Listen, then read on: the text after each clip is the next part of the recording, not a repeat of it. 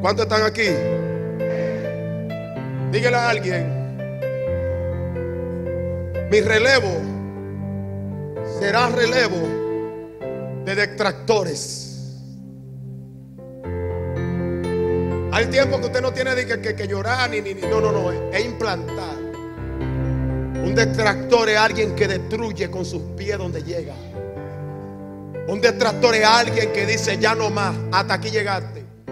Que mañana no, dije que hoy, ya. Es hoy, te dije que ya hoy. Un detractor es alguien que entra a un terreno donde no hay nadie y dice aquí va a haber. Porque el detractor, el detractor, por ser alguien más que visionario, es alguien impulsivo. Alguien dice amén. No es impulsivo en la carne, sino impulsivo en el espíritu. Porque el detractor es aquella persona que dice donde no hay abrazo. Donde no hay abrazo. El detractor es aquel que explora algo donde otro no explora. Y es por eso que hoy Dios va a levantar una generación de relevo de detractores aquí en el Seibo. Porque donde pises tus pies, pisará Dios. Donde pises tus pies, pisará Dios. Una generación de detractores. No, que yo estoy esperando que el año que venga. ¿Quién dijo que el año que viene? Es ahora. Es ahora. No, que el año 2022, 2023 es ahora. Porque el que se le entra una unción de detractor, ah, le dice al diablo, me agarraste por el cuello un día, pero hoy te levanta. Hoy Dios se levanta a favor mío.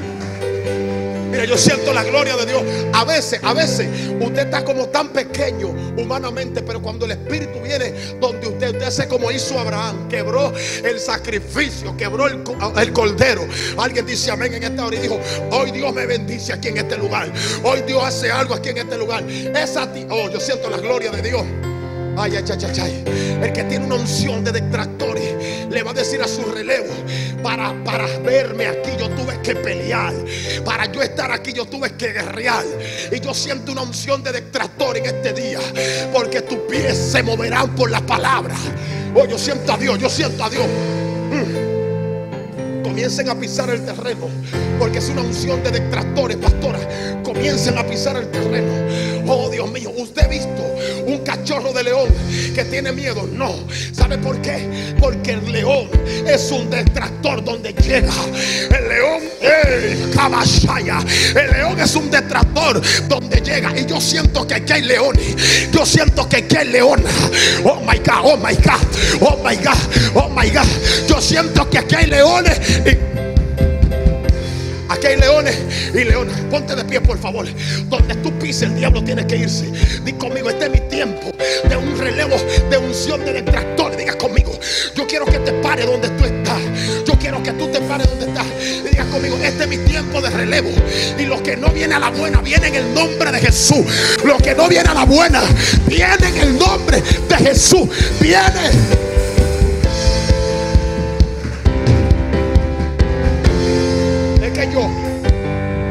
Cuando Dios te da una unción de detractores, el título no es lo que te firman.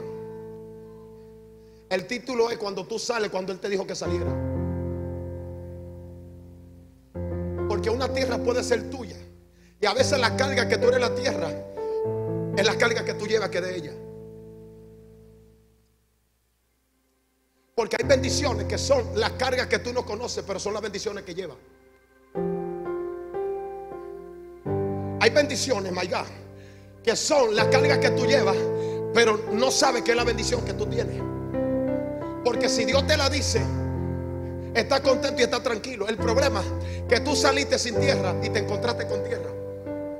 Pero tu dirección no es a donde tú vas, sino a donde está Él.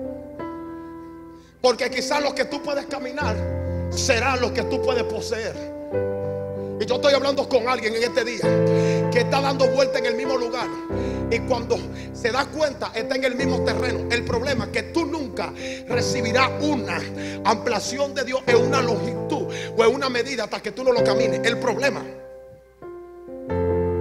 que Dios no te está diciendo que camine solamente porque camine. Dios te está diciendo camina para que marque.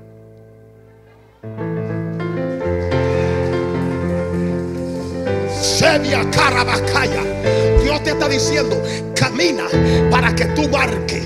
¿Sabe por qué? Porque mientras yo estoy limitado donde estoy por el pensamiento, el sentimiento, Dios me dice, sal de la tierra donde tú estás, porque a la que tú entrar va a ser más amplia. Va a ser más amplia. El problema es que el tipo está caminando en la tierra, pero no sabe que en el lugar donde está caminando es el lugar de él. Porque tu habitar no serás pequeño, serás grande.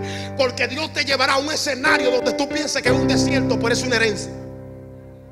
Y lo que hoy se convierte en tu fatiga será el nombre de lo que es tuyo. Yo estoy aterrizando aquí todavía. Lo que hoy, lo que hoy es tu proceso, mañana será tu bendición. Mañana será tu bendición. Lo que hoy tú cargas, mañana será tu legado. Lo que hoy tú aguantas y soportas es el símbolo de que califica para recibir bendiciones grandes. Yo no Vaya, vaya, vaya, alguien está aquí. Alguien está aquí. Yo no he visto a alguien que pueda llevar una bendición grande si no lleva un proceso grande. Porque la bendición grande se lleva en grandes procesos. La medida de Dios extender tu espíritu es rompiendo el estuche de tu cuerpo. Dios no puede extender tu espíritu si no hay una expansión de tu espíritu.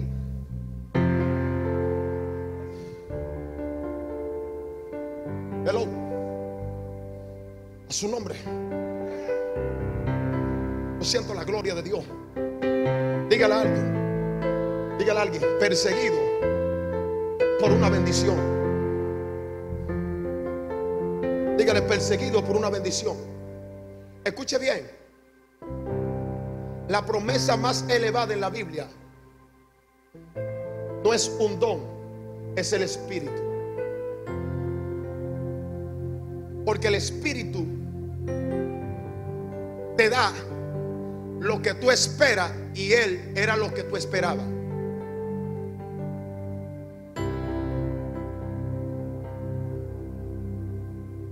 Por eso que las promesas pequeñas vienen de último porque la mayor llegó de primero. Y la Biblia dice que tenemos la arra del Espíritu. Nos dio un poquito, pero vino la fuente. El problema es que la fuente redujo lo pequeño, pero tenemos lo más grande.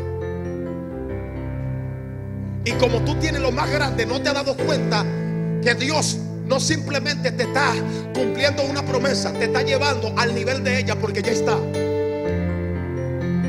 Oh my God, ¿alguien, alguien, me está entendiendo. Porque hay promesas que tú nunca la vas a ver hasta que no sube arriba. El problema es que cuando tú estás abajo, estás esperando una promesa, pero cuando sube arriba te das cuenta que estás. Oh, yo siento la gloria de Dios en esta hora. Te das cuenta que está por eso que el Espíritu Santo es la promesa más elevada. El Espíritu Santo es la promesa más grande que tú puedes recibir. Sin el Espíritu Santo no hay nada. Sin el Espíritu Santo no hay movimiento. Sin el Espíritu Santo no hay fuego. Sin el Espíritu Santo no hay presencia. Alguien dice amén hoy.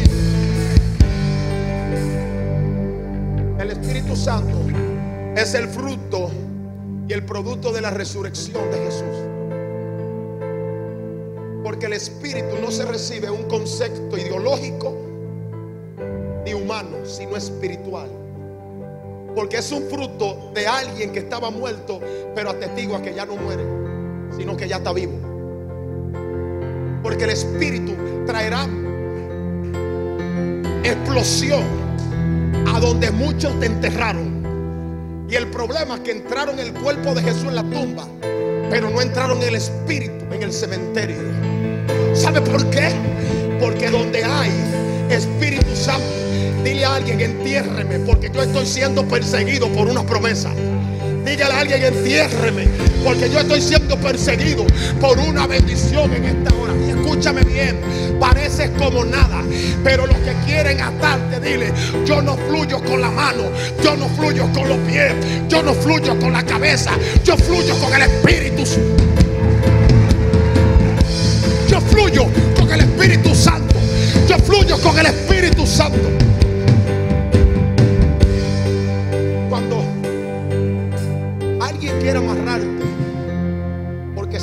Tu mano destruye y era un detractor en el mundo espiritual, dile, el espíritu no se puede amarrar. Por eso amarraron a Sansón. Pero a veces en lo que otro te amarra, te libera. En lo que otro te amarra, te libera. Porque Dios permitirás que alguien te amarre para que salga lo que nadie puede agarrar. Dios permitirá, hello, diga, predica a los predicadores. Dios permitirá que alguien te ate para que el que te desata salga de ti. Dios permitirá que alguien te entre en la tierra de los filisteos para que sepan, oh my God. Porque el problema, van a acontecer dos cosas: que Dios va a matar el Sansón carnal para levantar el espiritual. Mucho. Muchos se quedan en el Sansón carnal, dijeron cayó. Muchos se quedan en el Sansón que, fue destruido. Pero pocos saben que su muerte trajo más muerte que los que estaban en vida. Siento la gloria de Dios. ¿Sabe por qué? Porque con la muerte de Sansón mató más en muerte que los que mató en vida. ¿Qué es lo que Dios te está diciendo? Que todos los que te mataron y te llevaron a la tumba van a liberar un león más fuerte. Porque el Espíritu de Dios irá a tu tumba, irá a tu cementerio y te dirá qué pasa. La iglesia no termina en tiempo de pandemia, en derrota. La iglesia se levanta como una esfera de gloria para este tiempo. La iglesia se levanta.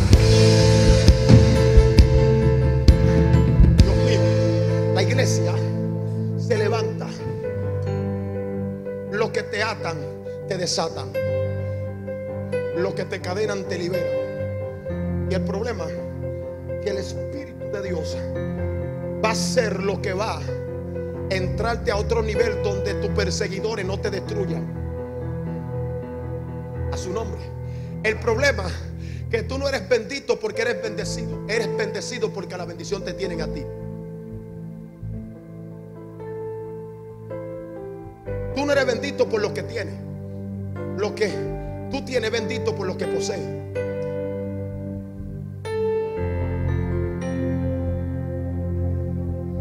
Porque hay personas que cuando no pueden coronarse de la unción que tú tienes, entonces ensucian el pozo de donde tú dependes.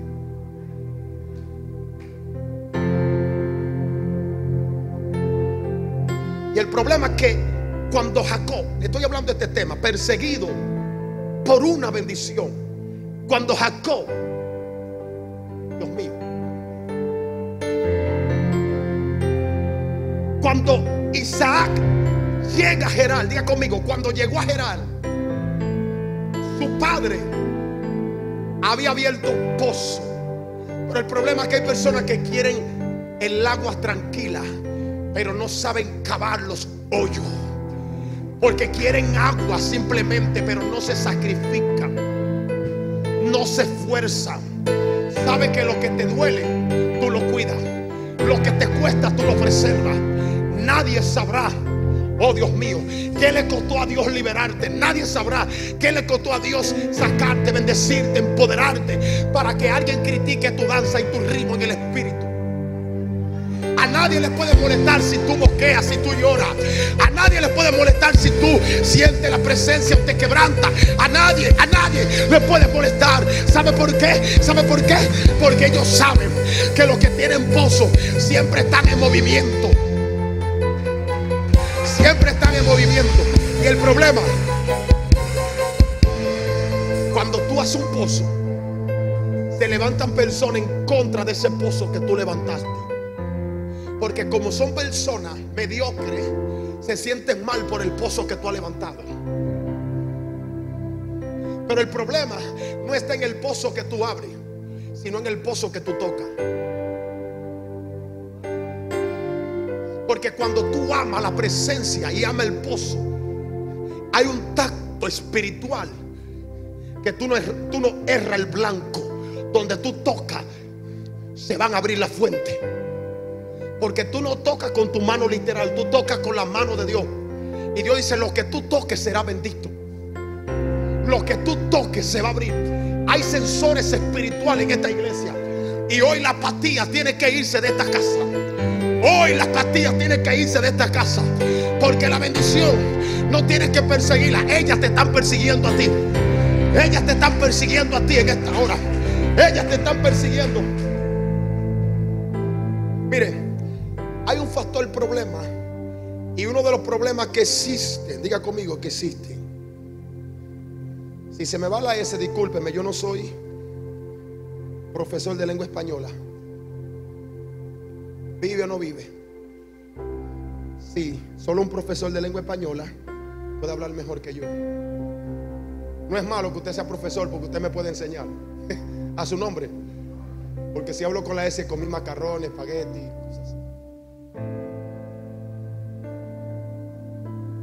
Es un aplauso a usted mismo.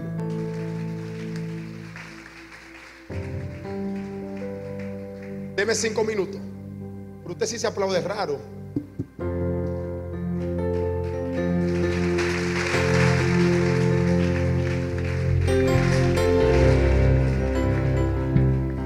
Y mire, hay gente que le dice, si Dios me bendice, yo recibo la bendición y esto y lo otro. Ay Señor, no me dé riqueza. Porque te puedo negar. Ese, era el concepto de él, Proverbio capítulo 30. Él, él, él, tenía ese concepto de que si Dios lo bendecía demasiado, pues entonces dejaba a Dios. Si era muy pobre, luego decía algo. La prueba desarrolla, desarrolla en usted un agradecimiento, pero la bendición desarrolla un descuido. La bendición no es para aquel que no es agradecido. Porque si Dios le da un millón, usted puede bendecir a los pastores. Una vez Dios me dio una palabra profética para alguien. Y le dije, mira, el Espíritu me revela esto. Esto y esto. Yo estaba en la playa Boca Chica y parecía un delincuente a su nombre. Y vi este delincuente. O sea, para él, no es que yo soy un delincuente, soy un hijo de Dios. Y cuando fui le dije, mira, Dios me revela que hay una tía que te está haciendo la guerra, pero hay una bendición que llega. A la semana me puso un cheque de 250 mil dólares. No para mí, escúcheme, sino para que lo orara. Y yo digo que era para mí, soy mentiroso. Pero no recibí nada de esos 250 mil dólares, pero la palabra se cumplió. Pero hay bendiciones que se pierden por ser ingrato. Porque si tú no sabes valorar lo que Dios te da y no sabes llevar a un restaurante a la capital a los pastores, tú eres un mal agradecido. Eres un mal agradecido. Y te lo voy a decir. Te lo voy a decir en inglés. Eres un mal agradecido. Ah, estaba pensando que estaba hablando inglés. Perdón, es que mi inglés es muy bueno. Eres mal agradecido. Su nombre. Y una de las cosas que hay tres tipos de bautismo y hay tres tipos de bendición. Pero el bautismo más fuerte es el bautismo en muerte. Porque es el que se ajusta al nivel del espíritu. Porque hay personas que pueden obrar en el don, pero hay pocos que obran en el espíritu. El que obra en el espíritu camina bajo una puerta amplia. Está el bautismo de agua y está el bautismo del Espíritu Santo. A su nombre. ¿Alguien dice amén? Y escúcheme bien. Hay dos paralelos en el capítulo primero de Corintios por ahí, donde habla, escúcheme bien, que los dones son irrevocables. Ahí tiene dos vertientes, diga conmigo dos vertientes. No simplemente está hablando de dones en cuanto ejercicio del ministerio. También a los israelitas se les daba tierra como don. Y estaba hablando del linaje de Israel. Y dice que los dones son irrevocables. ¿Sabe por qué? Porque aunque ellos son rebeldes, Dios los ama. Pero el hecho que aunque los dones sean irrevocables, no significa que tú peques para luego predicar. No significa que tú peques para luego adorar. No. ¿Sabe por qué? Porque el don sin una esencia se convierte en un peligro de muerte. Ministrar a Dios en pecado es ministrarse a un... Yo no sé si están aquí en esta hora. El problema es que el pecado no es lo que la gente le llama pecado. Pecado es no reconocer que tú estás mal. Son legalistas, yo no sé. Pecar no significa que alguien te señale lo mal que está haciendo, sino lo mal que tú sabes que lo está haciendo. Amén en esta hora. Y hay tres tipos de bendición, voy rápido. Está la bendición patriarcal, la bendición sacerdotal y la bendición paterna. La bendición sacerdotal o la bendición espiritual, son tres tipos de bendición, podrían haber más, pero son tres que complementan los tres niveles del cuerpo, el alma, cuerpo y espíritu. A su nombre. Pero lo que Dios bendijo, nadie lo puede maldecir. Acán vio a su padre, Jafé, estaba Zen, estaban los tres. Y lo maldijo. Maldijo su generación. El problema es que Can tenía que tener otra generación porque la que dependía de Canaán, todas eran malditas. Pero él no era maldito. Porque en el capítulo 9 la Biblia dice que Dios bendijo a Can, a A Zen. Tu bendición traspasará todo legado de padre. Tu bendición traspasará toda maldición de tu generación. Mira, yo quiero predicar rápido. Voy a predicar corto, le dije. Tu generación, tu bendición marcará tu regeneración. Alguien dice amén. Porque lo que Dios bendijo, el diablo no lo maldice. Lo que Dios maldijo, el diablo no.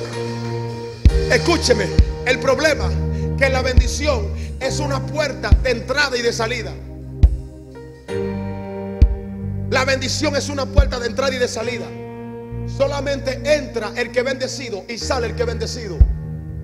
Dile a alguien, nadie cabe en la puerta mía de bendición. Porque los que quieren ponerte maldición en tu puerta, dile, mi bendición está conectada con mi entrada y con mi salida.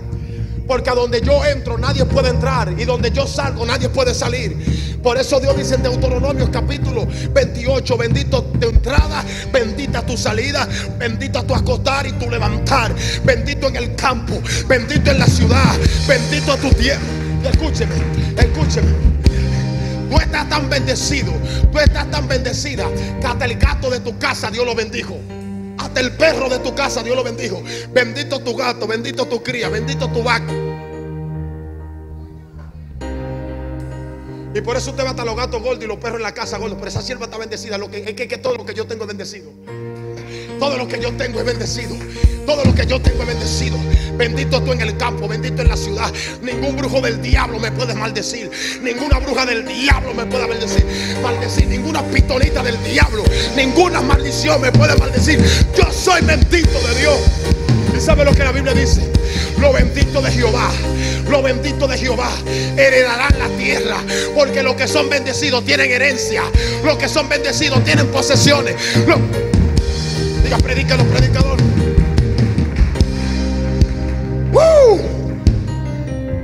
Voy rápido. Si usted quiere, póngase de pie para. Pero escuche esto. Lo bendito de Jehová heredarán la tierra. Hello. Los benditos de Jehová heredarán. Porque los benditos no son desheredados. Los benditos tienen herencia. Los benditos tienen herencia. Y Dios en este 2000, mire, ¿a cuántas personas en este tiempo de pandemia Dios no lo ha bendecido más que en todos los tiempos? ¿A cuánto? Hay personas que tienen que tienen negocios de funeraria y se hicieron ricos con tantos muertos que murieron.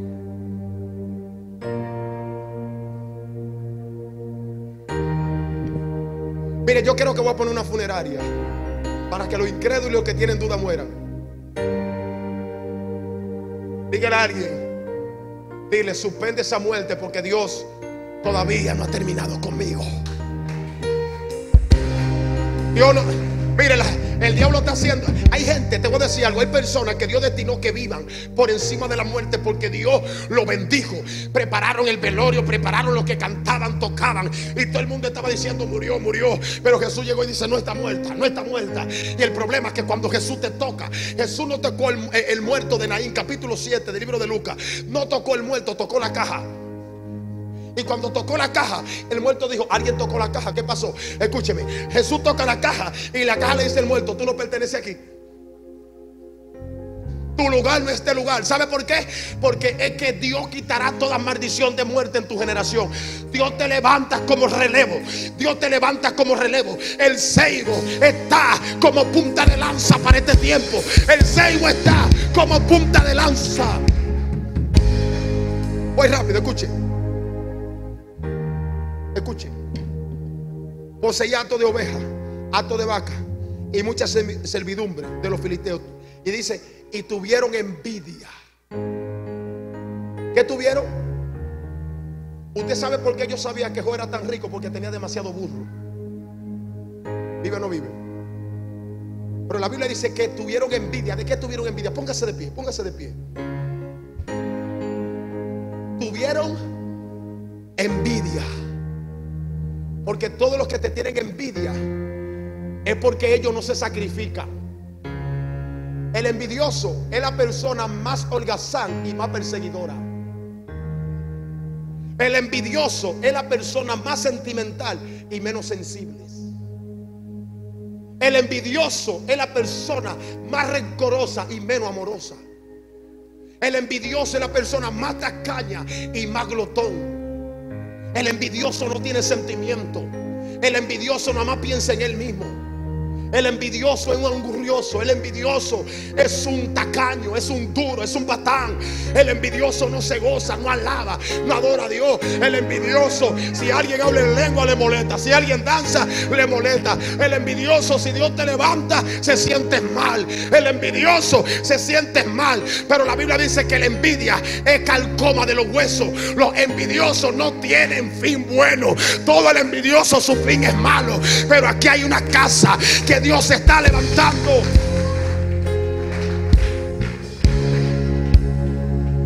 ¿Y sabe lo que dijo? Lo que dijo Abimelech. No me conviene.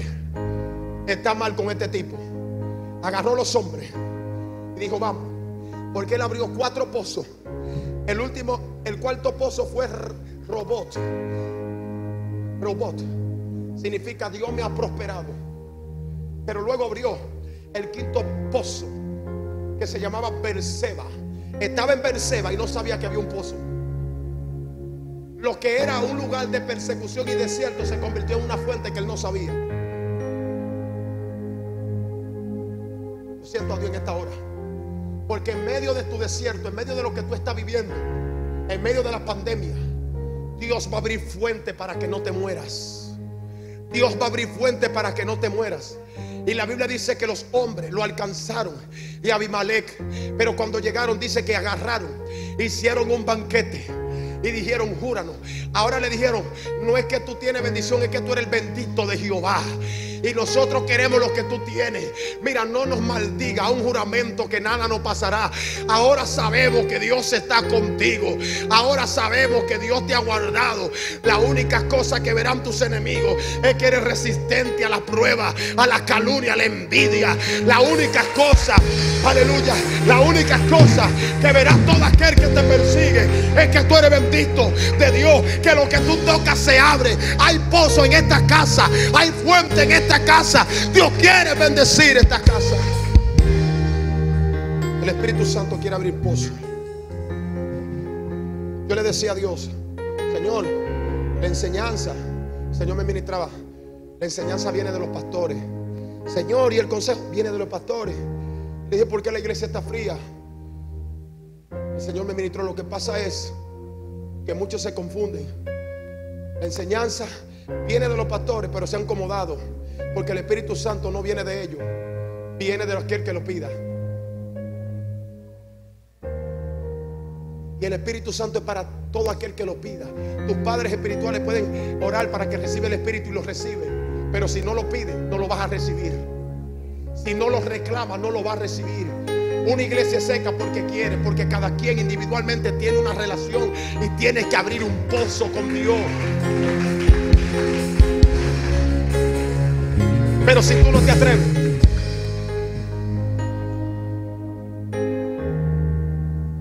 si tú no te atreves a abrir el pozo, ¿quién lo va a abrir por ti? Te mueres seco y es porque no sabe pedir al Espíritu Santo.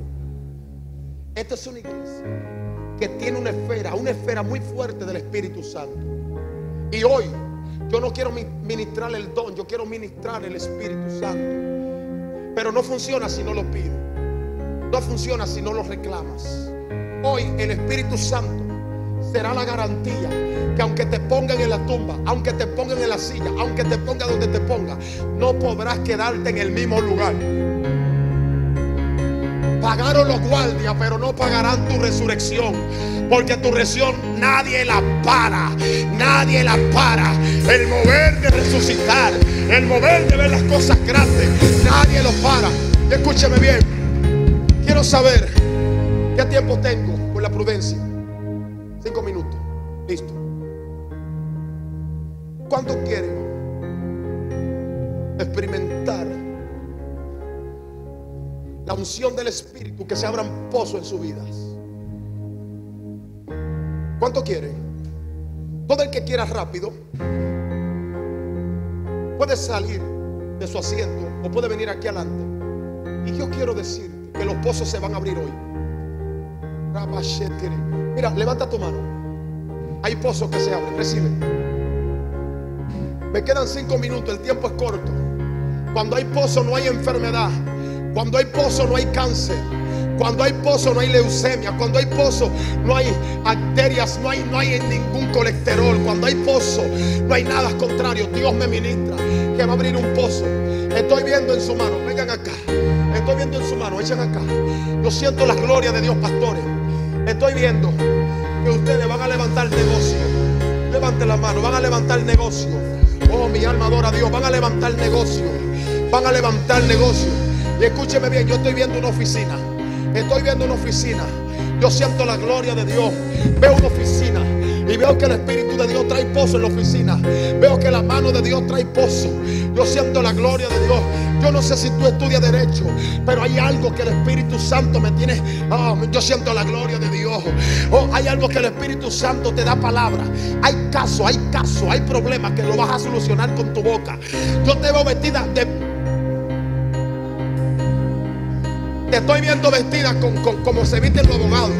El Espíritu Santo abre un pozo en tu vida. Abascienda la bacalla.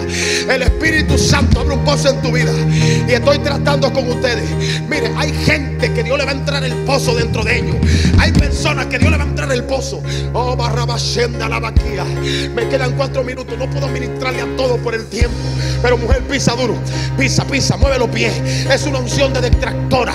Es una unción que cuando tú te pares ante cualquier tribunal tiemblan los demonios. ¡Fuego!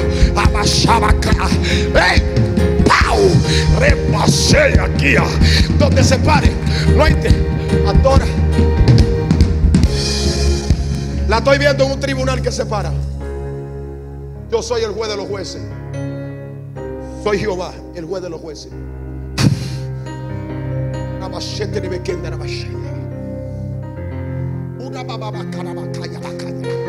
Se abren pozos en tu vida. Me quedan tres minutos. Mira, yo quiero. Ven acá, tú rápido, ven acá. Y ella. Lo voy a hacer rápido, pastores. Ven acá. Hay pozos que se abren. Hay pozos que se abren. Rebacanda. Ven acá. Rebasenda. Joven, ponte ahí. El varón que está ahí. Hay pozos que se abren. Hay pozos. ¿Cuántos tienen fe? ¿Cuántos tienen fe? ¿Cuántos quieren recibir lo que tengo? Abran su mano. ¿Cuántos tienen fe? Abas. Hay pozos que se abren. Hay pozos, hay pozos que se abren. Oh, hay pozos que se abren. ¿Sabe por qué no te ha secado? Porque hay pozos que se abren. Los empresarios de esta casa se levantan.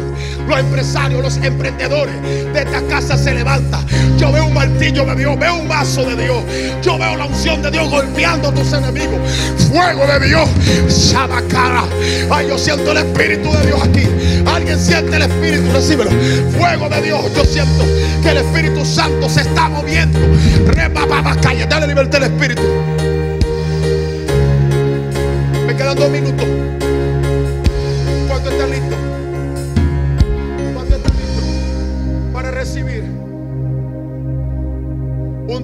De esposo del Espíritu Santo en su vida? Voy a soplar ahora. El tiempo no me va a dar para ponerle la mano a todo. Levante sus manos. Ustedes quieren recibir también, ¿verdad? ¿Están listos? Se va toda enfermedad, todo problema, todo pasmo, todo problema. Todo- todas enfermedades. Ahora. Me falta un minuto. Aquí hay personas que van a revivir hoy. Aquí hay personas que van a tener que decirle, pastora, yo hago todo, yo la voy a ayudar en todo. Pastora, agarre el mazo y golpea allí en la oficina si usted quiere, golpee. Abasaya. Levanten las manos, pastores. Oh, esa unción de distractores, esa unción de los pozos, esa unción de los pozos. Aquí se levantan síndicos, aquí se levantan gente, aquí se levantan personas poderosas en este lugar. ¿Dónde están los que van a abrir pozos? ¿Dónde están los que van a abrir pozos? Prepárate, falta un minuto, por favor. Comienza a moverte como que está abriendo un pozo. Y vas a comenzar a ver el agua manar. Por favor, el Espíritu de Dios está aquí. El Espíritu de Dios está aquí. Ahí viene, ahí viene. Oh, mi alma adora a Dios. Van 45 segundos. Comienza a abrir el pozo. Abre el pozo. Abra como que usted está abriendo un pozo. Oh, Dios mío. Abre el pozo. Ábrelo allá, por favor. Dile, se acabó la sequedad en mi vida. Dile, se acabó la ansiedad en mi vida. Abre el pozo. Mueve los pies. Mueve las manos, por favor. Abre el pozo. Ponte a abrir el pozo. Ábrelo. Ábrelo. Abre el pozo. ¿Dónde están? Abre el pozo. Van 40 segundos, por favor. Algo se está moviendo aquí. Van 40 segundos. Abre el pozo. Abre el pozo. Ábrelo. Pa, pa, pa, pa. Abre el pozo. Dios mío, Dios mío. ¡Apa!